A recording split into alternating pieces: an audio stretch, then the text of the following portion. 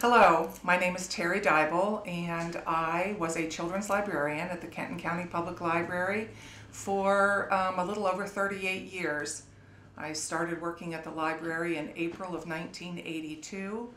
I feel very fortunate to have worked at the library for such a long period of time. There were so many children that came to my story times that um, in later years returned to the library and uh, worked as um, shelvers in, in our system and um, a, a few even went on to get library degrees and it's just been very rewarding.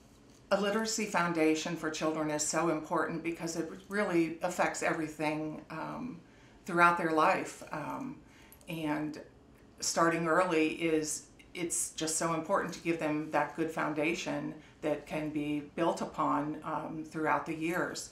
And at the Kenton County Public Library, we have um, put a lot of emphasis on literacy and we, we continue that all the way through adulthood, really, with the programming um, that, that we offer at the library, all of the resources as well.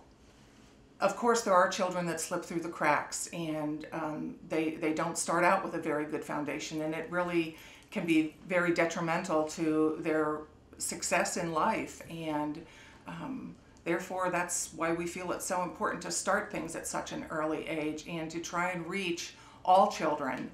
I'm very honored to receive the Mary Ann Mongan Literacy Award. Mary Ann Mongan actually hired me in 1982 as a children's librarian, and I spent my entire professional career at the Kenton County Public Library.